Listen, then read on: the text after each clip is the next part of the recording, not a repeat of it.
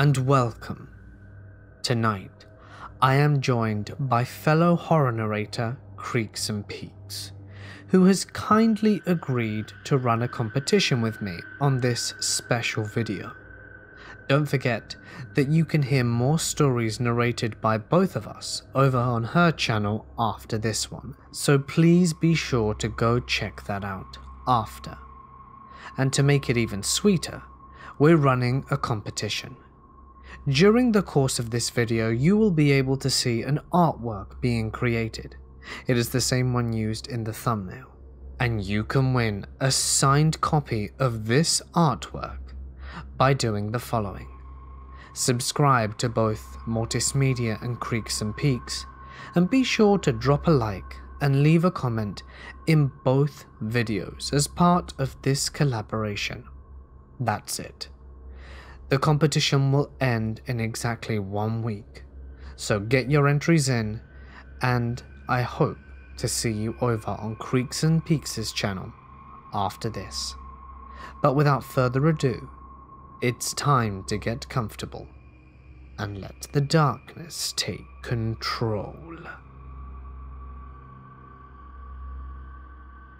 I have two stories. Both take place in New Zealand. The first one takes place in November 2011. My grandfather had just died a couple of days before this story took place. My grandmother on my father's side runs a bed and breakfast out in the countryside with her considerably older partner. The family had gathered out there because it was the last day that my grandfather's brother and his wife were in town, as they had come up for the wake and lived down near Dunedin. We were talking down in the larger of the two sitting rooms which was at the back of the house. For some reason, my brother and I were told to leave, as the adults wanted to discuss something somewhat sensitive. So we went for a walk. We walked outside and down past the end of a house between a pond and a large garden shed. Beyond that was a large open field with nothing in it but grass next to the shed, was a small house that my aunt, my father's sister, used to rent but had new tenants. Beyond that was another field and the main shed driveway, but the other houses further down it used to get to the road, which was about a kilometre away. We began walking to the back of the property and we were joined by my grandmother's two Burmese cats, who had run of the place. About halfway down the drive, between the house and the back of the property, the cats sat down in the middle of the driveway and wouldn't move. We tried calling them, and they wouldn't budge. So my brother and I continue. We come to a cattle stop at the back of the property, and for some reason, I am overcome with a sense of absolute dread and fear. Like if we were to cross this cattle stop, something bad will happen to us. I also felt like I was being watched, but I couldn't see behind me because the field was obscured behind a row of six foot tall pampa grass bushes. So we walk back accompanied by both cats. On the way back, we walk past the rental and I look through the bushes into the house. It has an open front with large windows and a ranch slider door. Yes, I'm a nosy bugger, and no one was home. We get back inside and sit down. Not long after we get back, there is this hideous scream like a woman being murdered. And this scream is loud and sounded like it was coming from next door and at the time of the scream, everyone was silent, and everyone was silent afterwards. I eventually asked if anyone heard the scream, and everyone said they did. And I distinctly remember my mother saying it was a banshee. Now, I have said this story many times and had suggestions from a lot of people of what the sound sounds like, and the closest animal that could have made the sound is a mountain lion. Now, that all sounds like case closed. Except New Zealand doesn't have any wild big cats. All large felines present in New Zealand are in zoos. No other animals outside a human could make that scream. The feeling of fear and dread could be partially explained as I wasn't very familiar with the property, and therefore could be something psychological. My second story takes place at my own house. I used to have my laptop and computer in a front corner of the living room that has a corner window, and from that window was a view over the side gate, the boundary fence, and a very short strip of land between it and the five meter drop down the banks to the river below. Beyond that is one of the many bridges the street crosses as it winds its way up the valley. I'm sitting there. It's about 11:30 at night and both my parents are in bed. I have my headphones on and I'm just listening to music which isn't too loud but enough that I can't hear very much unless it's particularly loud. So I hear a loud thump on the side window. I pause my music and start hearing scratching noises, like something dragging claws down the window. I think nothing of it, because one of the cats uses that method at the front door. We too have a ranch slider to get let inside. Then it strikes me Neither of the cats are big enough to stretch across the gap between the fence and the side of the house. Even our youngest cat, who is an 8 kilo fat ass that can stretch close to the top of our dining chairs. So I open the window and catch the glimpse of something darting beneath the windowsill. But it's like I was catching the very underneath of its front as I only saw what looked to be like the mouth and two very, very long whiskers, like those of a catfish. So I open up the window and look outside. I see nothing, which is understandable because there is a considerable overhang between the side of the house and the skirting that goes around the piles. So I think nothing more of it. And I was in the kitchen filling up a drink bottle I turned on the kitchen light, and something darts out from underneath the house and makes a run for the back fence. However, because of the ways the shadows are, I didn't see it. What I remember of it is something the size of a border collie, but very muscular and lithe, and the way it moved was distinctly feline. I told my parents about it the next day, and they got a proper look at the window where it happened, because I saw what might have been the underside of its face. I'm operating under the assumption that it was likely standing on its hind legs and scratching down the window. The problem was the distance between the ground and where I heard the thud against the window and the scratching noise was at least six feet. And it might have been a feral cat, but I don't know of any feral cats that could stretch up to six feet on their hind legs. Lately, I've been thinking about this recurring vague childhood memory. I have some memory issues due to various reasons abuse, blackouts, and previous heavy alcohol and drug use, as well as denial. Please remember that this is very vague my mother and brothers would visit friends who had once lived on our street, but had moved to a farm. I was little, between the ages of seven, and there was a little girl I would play with named Carrie who was my age. We would play around the farm feeding chickens, catching tadpoles in the stream, and doing farm stuff. On one of these visits, I remember it being a beautiful hot summer's day Kerry wanted to show me something. We walked through the golden dry wheat fields. If anyone has walked through grown wheat, it's loud, especially when the wind blows through it. We walked to the end of the field, and there was a broken down old timey wooden wagon. A few hundred meters away was a strand of trees on a rise. We sat and played and did whatever little kids do. And I remember getting very afraid, like cold sweat chills. I also vaguely remember possibly seeing a dark man in the woods, standing, watching the two of us. This is in the middle of nowhere prairie farmlands. The next town is over an hour away. I can also remember how quiet everything was. The wind had stopped. Kerry and I had stopped talking, and then I remember us jogging back across the field.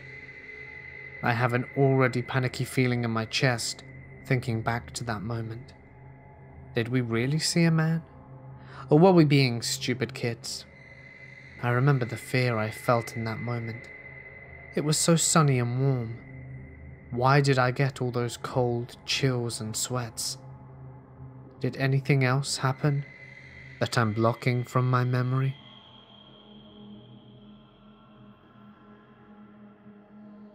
I live in a very old house, one of the oldest standing in my town. One morning, when I was 13, I woke up and walked down the hallway to get to my kitchen. On the way, I passed my parents' bedroom. I was half asleep, so I didn't notice anything wrong. Till I came back with my cereal. Their door, which they keep closed, had two of its panels cracked down the middle and was also knocked off its hinges. The lock mechanism was also destroyed. I was just terrified at what the hell had happened. I asked my parents right then what had happened. Apparently, in the middle of the night, a pounding just started at the door, not knowing what was banging on their door in the middle of the night. They locked the door. The banging continued till the panels started to crack. Paint chipped and fell to the floor. The banging continued. The top hinge of the door breaks off. Mind you, this is an old house with heavy wooden doors. Scared shitless, my parents pressed up against the door, trying to keep whatever it was out of the room. Then they were knocked back by a powerful push and onto their bed and the floor. The log was ripped out of the wall, bringing shards of wood down with it. What was left of the door was pushed open, and there I was. I whispered, A door won't keep us out. Turning and sleepwalked back to my room. I have no recollection of anything I also had no bruises, which I thought was strange, seeing as I bashed a door down. I still live in the house, and nothing like that has ever happened since. I do not remember dreaming about anything that night.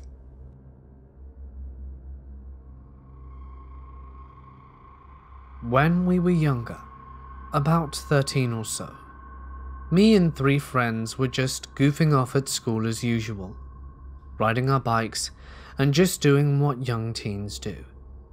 We eventually rode past the old abandoned house that's local for us, which has basically been there since we can remember. My friend's parents, who were here in the 70s, can remember that house being abandoned since then also.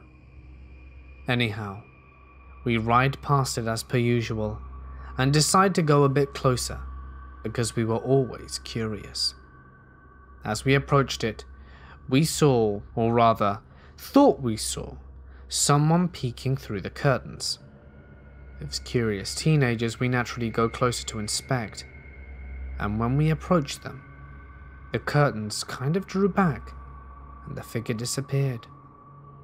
Stumped, we decided to approach the veranda, and that's when we heard a baby crying. The crying slowly progressed into a wail, and eventually, one friend had enough and knocked to see if anyone was home. After about five minutes of knocking and continued wailing, the door finally opened. It was a little lady who looked to be about 40 or so. My friend asked if everything was okay and if the baby was fine, and the lady simply told us to go away. My friend continued to ask if she needed help or anything, and that if everything was okay, and she continued with go away. This continued for about a minute until she closed the door on us, and the wailing became louder still. At this point, my head was screaming, Run, you dumb shit. But rather, my friend decided to knock again in fear the child was being neglected. Eventually, after a few knocks, the door just kind of opened. Not scary creaking open, but rather it was left unlocked. We, as dumb teenagers, walked in to see if everything was okay, partially due to curiosity. And as all four of us walked in, the crying stopped, and we stood in this abandoned house covered in dust, and everything was covered like it hadn't been inhabited in decades. We took a few steps forwards, and the crying began again. By this point, we decided we needed to find the child, so me and a friend went upstairs while the other two investigated downstairs. As we climbed the stairs, the crying got louder and louder, and we continued to search each room slowly. Eventually, we reached the last room, and it was apparent the cod was in here, so we opened the door and investigated. And it was apparent the sound was coming from here, so we opened the door. The first thing we notice is that the room had nothing in it except for a baby carriage in the far left corner near the window. The crying was coming from there. We made our way and peeked over to find nothing, but the crying was still there. My head started spinning as I didn't know how to feel. I called out for my friends downstairs and they ran upstairs and saw, or rather, didn't see what we could see. They filled us in on what they saw downstairs, which was the woman walking into the kitchen downstairs. They followed her and she vanished. We all knew that this whole situation was screwed up and quickly ran out the front door. As we got onto our bikes, we looked back to see the door being closed slowly by someone and then locked. A few moments later, the curtains were pulled back by a woman holding a child, smiling. We rode hard and fast back home and didn't turn back. I didn't sleep much for a few days, and a few years after the house got demolished, but people began seeing a woman holding a baby at the local park and bridge. That is, when you didn't see the kid who drowned in the sewers nearby. I hated that area, and I was so glad when we moved. And sometimes I drive past it at night, and it has just the worst feeling. It's always too quiet, and it still scares me 11 years later.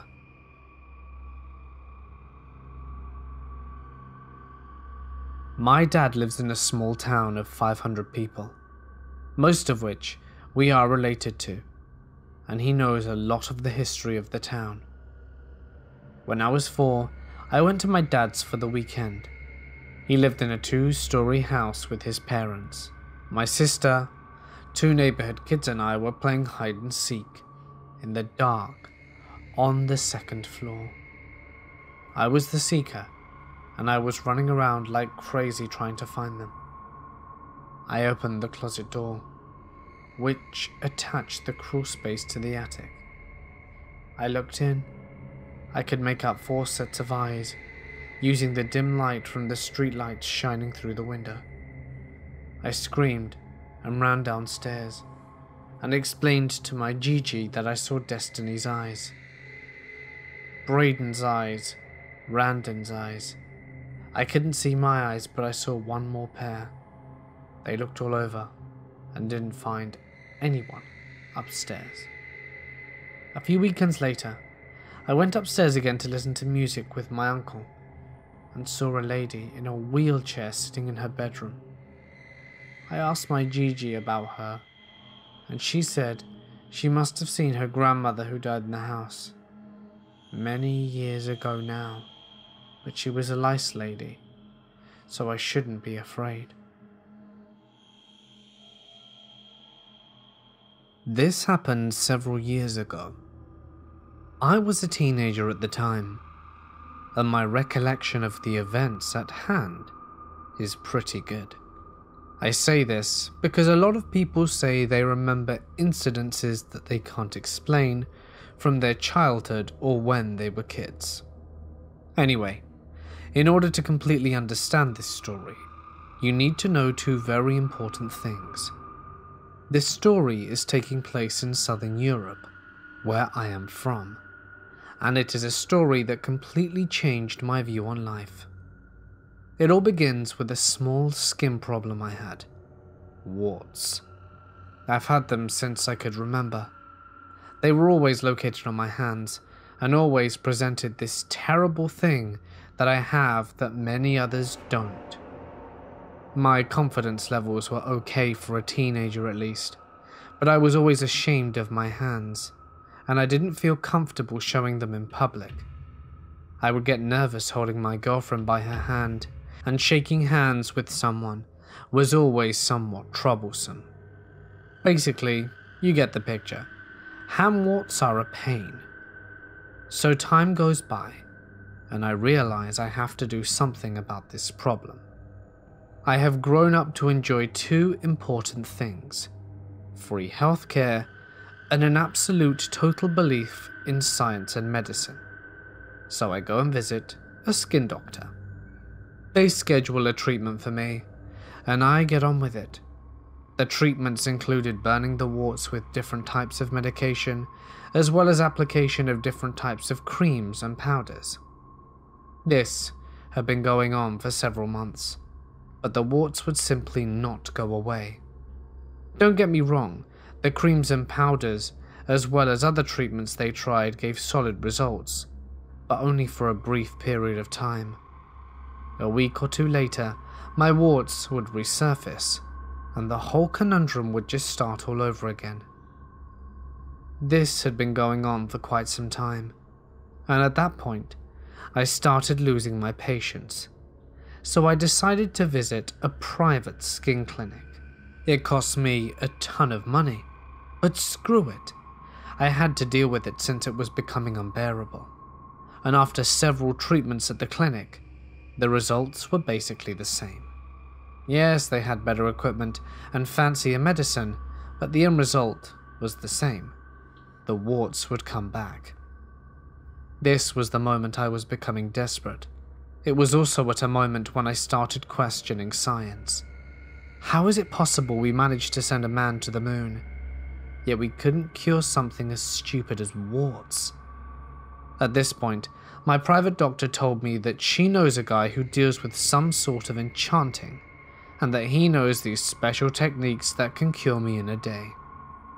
I was super, but like, super skeptical towards this and I completely shunned her story and went home.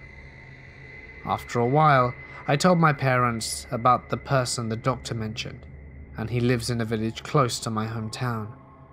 I also told them that I completely ignored it, since I didn't believe in magic or anything like that. I was well educated. I was strong minded, and I would never believe in things that were scientifically unproven. Some time passes, and my doctor somehow gets in touch with my parents and tells them about this guy. Long story short, my problem grew, and I was becoming impatient and severely displeased with my hand's appearance. So, I sat down and had a small conversation with my parents. We agreed that I would give this guy a chance. I was super desperate at this point, and I told myself screw it. I may as well have a good laugh at this random village guy and his shenanigans. We got into the car and went to the village where he lived, and we were approaching his house, and we noticed many cars parked outside. Wow, so this guy's kind of famous. Some of the cars were pretty fancy, I'd tell you, and it was quite surprising seeing such nice cars in such a remote part of my country.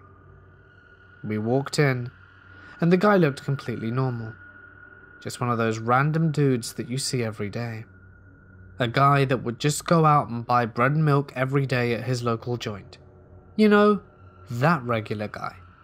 So he asks me about my problem, and I explain it to him in great detail, and he just silently nods his head. He then says that I have to follow him behind his house, and that my parents should wait for me in front of the car. Of course, I was scared shitless at this point, but my parents gave me a reassuring look, and I decided to follow the dude. I guess nothing that bad could have happened 50 meters from where my parents were standing. We walked slowly while he was smoking a cigarette. At one point, he stopped. He pointed me towards himself, yet brought my hand slightly upwards. They were being shined on by the moonlight. He then told me to be quiet and not to move. He grabbed my hands and started touching them very vaguely. I can't explain it, just like barely touching them with the ends of his fingers. He was whispering something in a language I couldn't understand, and my feet were shaking. I honestly thought I was about to shit my pants. This went on for about 30 seconds, and in the end, he brought his head down and took a deep breath, and told me that I needed to come tomorrow and the day after as well. I was dead silent. We proceeded back to my parents and our car. They had a small talk, and once they paid him, as he only takes symbolic donations since his gift would be free to everyone, his words, we got in the car and drove ourselves home. It was dead silent the entire trip.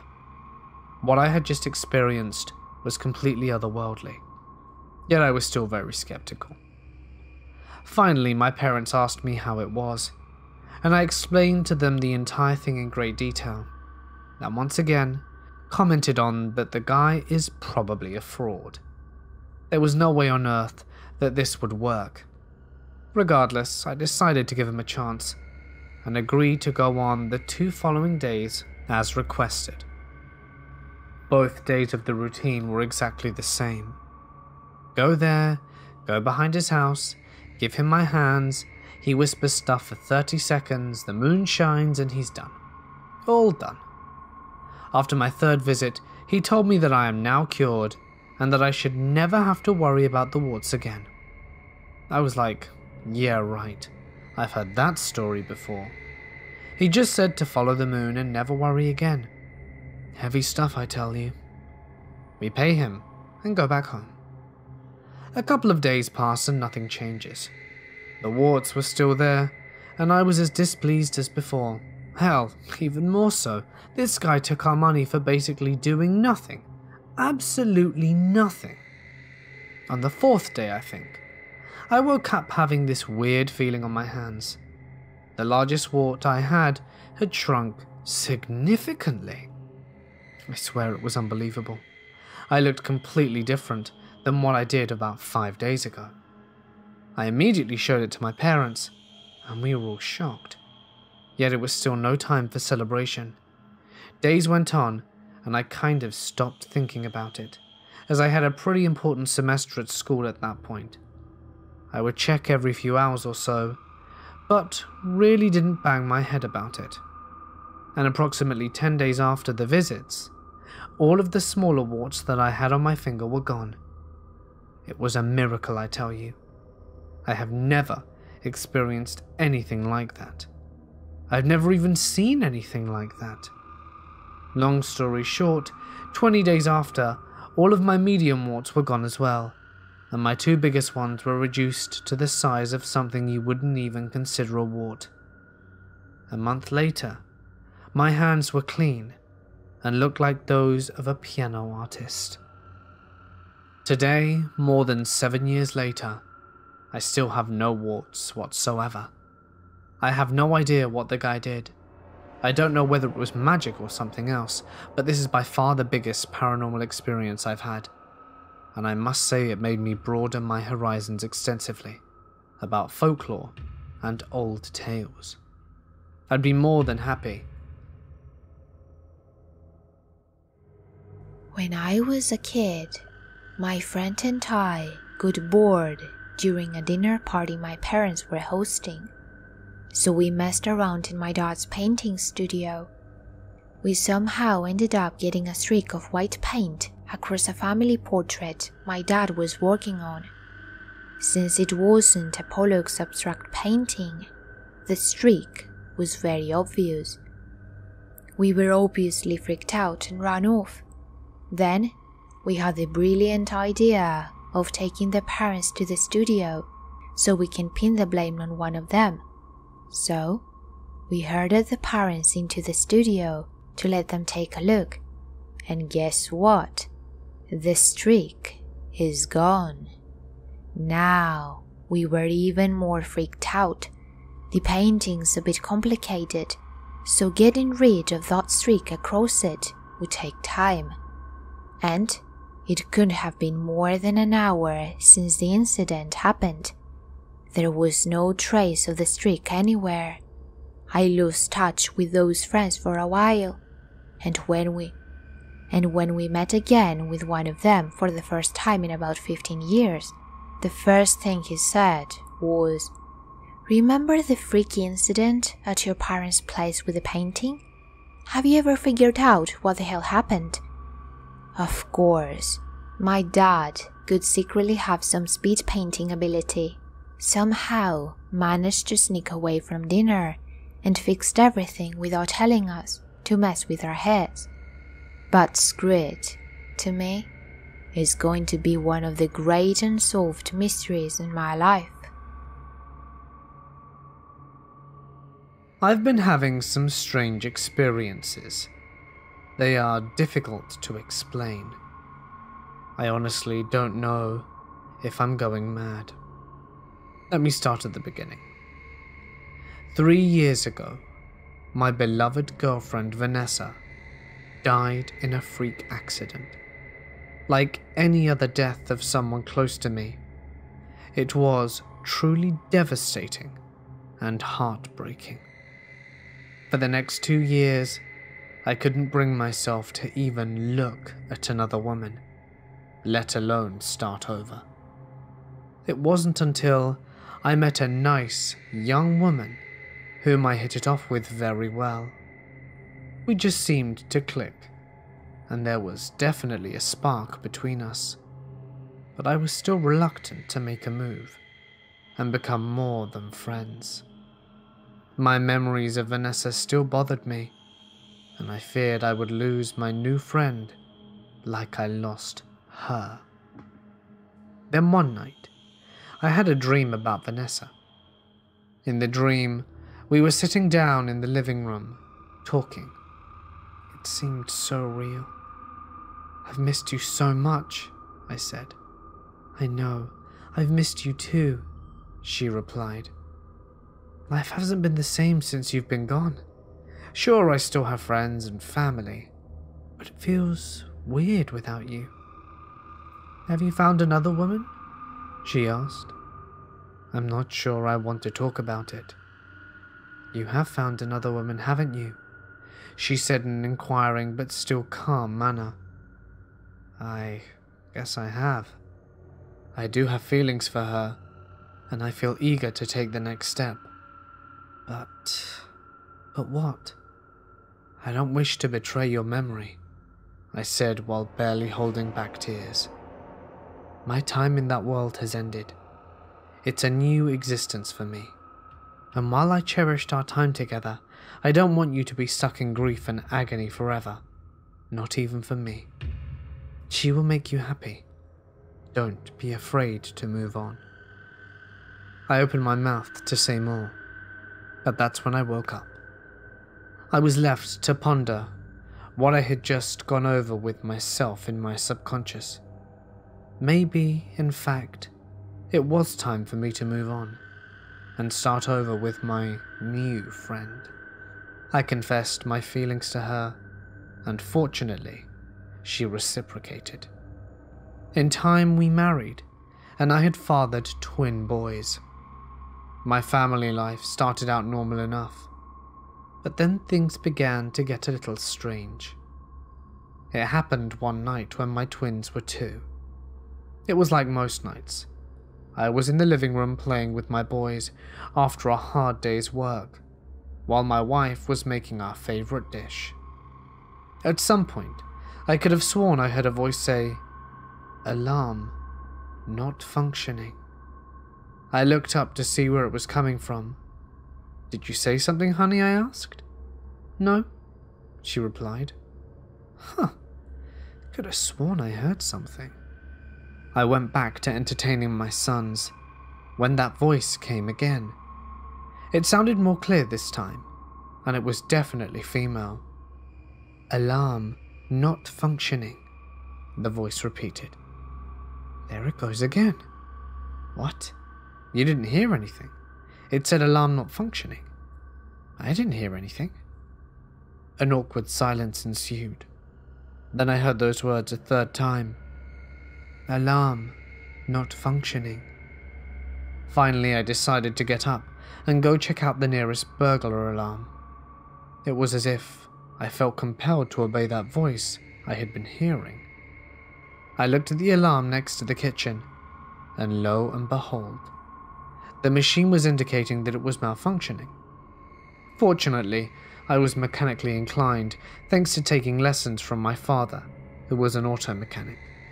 In almost no time, I was able to fix it, and we proceeded to have a lovely dinner and went to bed. I didn't give the odd voice a second thought. Until a few hours, that is. That same night, we woke up to a blaring alarm noise. Someone had broken into our home, and whoever it was, the alarm was not deterring him, because I could hear him roaming around downstairs. My wife and kids hid in the master bedroom, while I grabbed the shotgun out of our closet.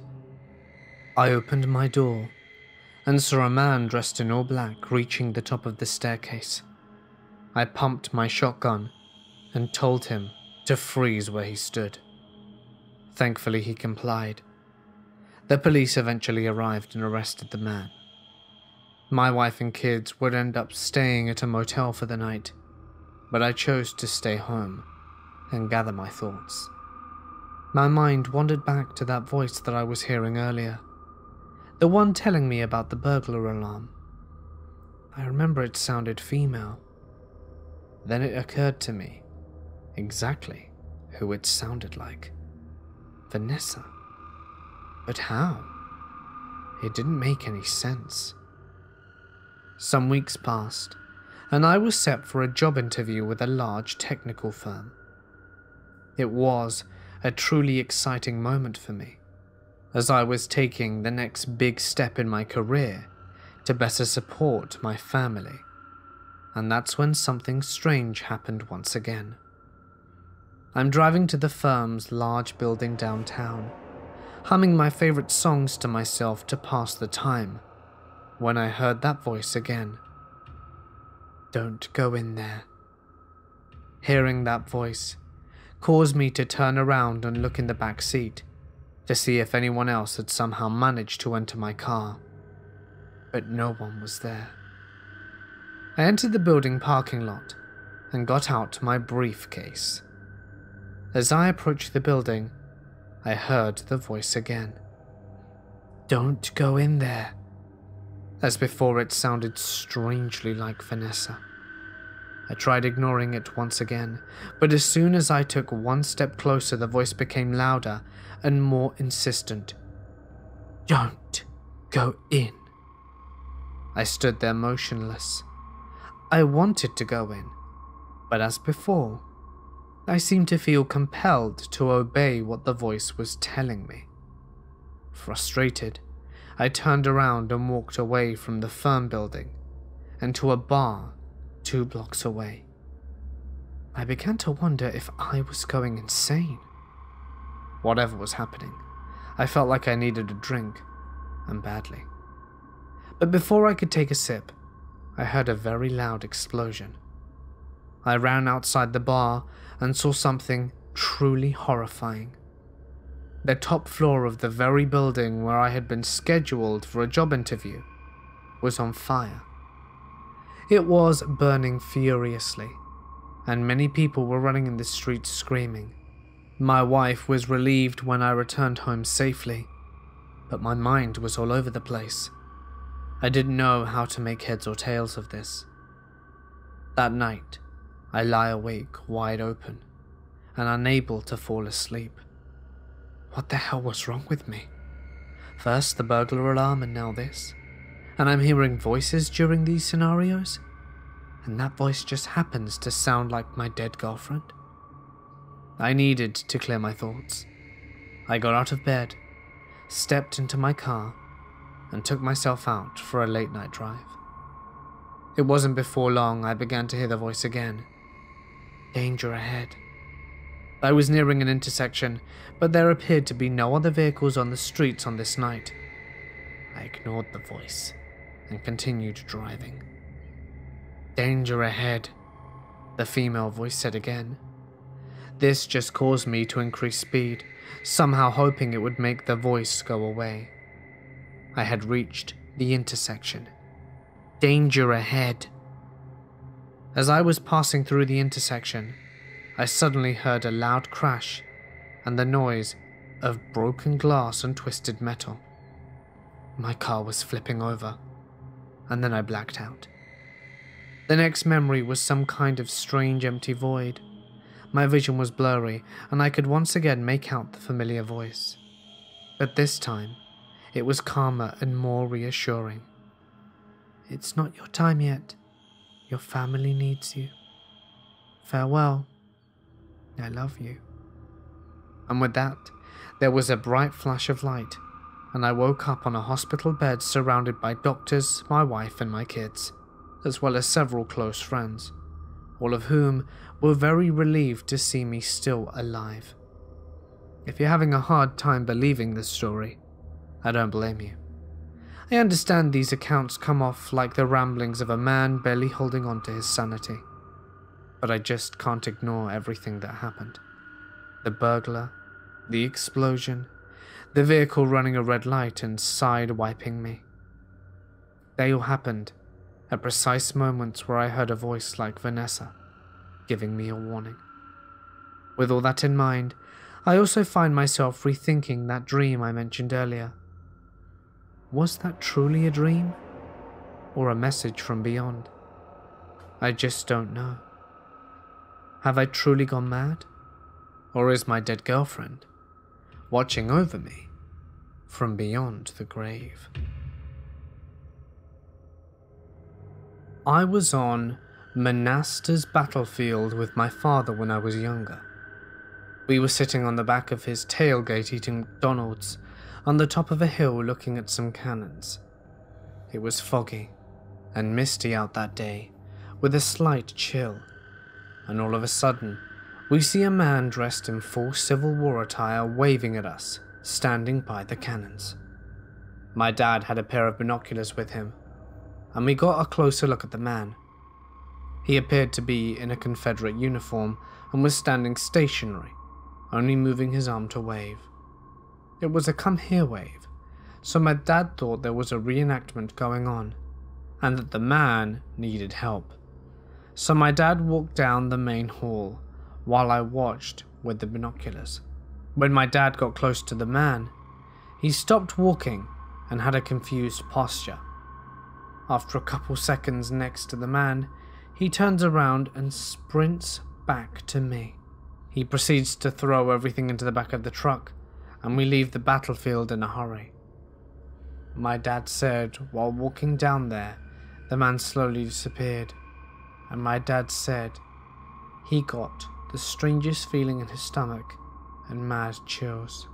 To this day, my dad still gets chills and goosebumps telling the story. My dad saw combat in Vietnam, so he isn't an easy guy to scare. From my perspective, my dad was right next to the guy and never disappeared. We don't know what he saw, but I think it was a ghost. I have a ghost that occasionally visits me in my sleep and tells me things that either are about to happen or things that people are hiding from me. It is a female, and from the looks of what she is wearing, she is either from the 30s or 40s. A few things I can recall off the top of my head.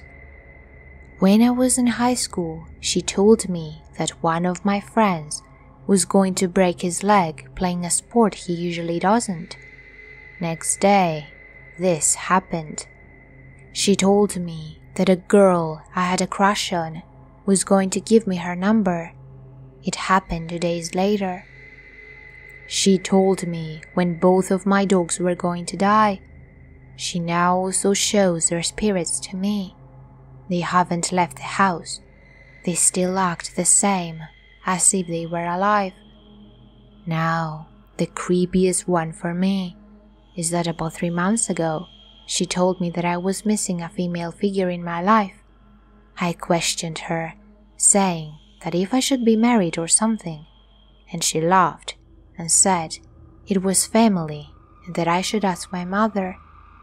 I asked my mother about this, and it turns out she had a miscarriage about two years before she had me. It was supposed to be a girl.